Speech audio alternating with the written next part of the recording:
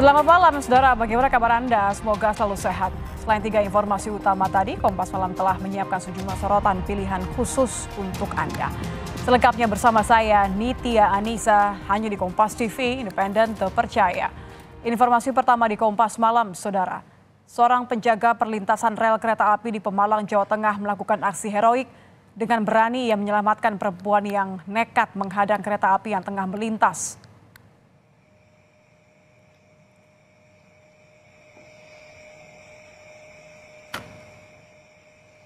Aksi heroik penjaga perlintasan bernama Gigi Atmaha ini terekam CCTV.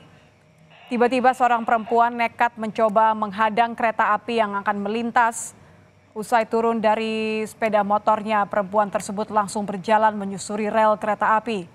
Gigi Atmaja yang tengah berjaga melihat aksi nekat perempuan tersebut dan langsung berlari menolongnya.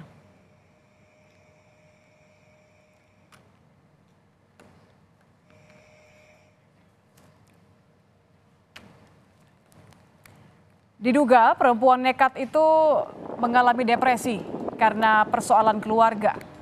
Ketika diselamatkan perempuan ini berteriak hingga menangis. Bahkan saat dijemput suaminya di pos penjagaan, perempuan ini menolak untuk pulang.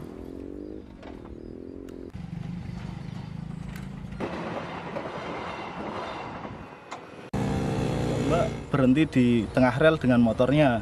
Terus mbak-mbak itu turun keluar mengarah ke arah kereta datang Hmm, ke arah barat ke berarti. arah barat.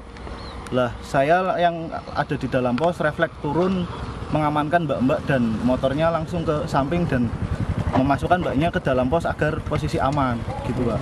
Terus mbak-mbaknya kondisinya gimana mas? Mbak-mbaknya kondisinya menangis, Menangis. histeris dan teriak-teriak gitu. Bener-bener. Iya.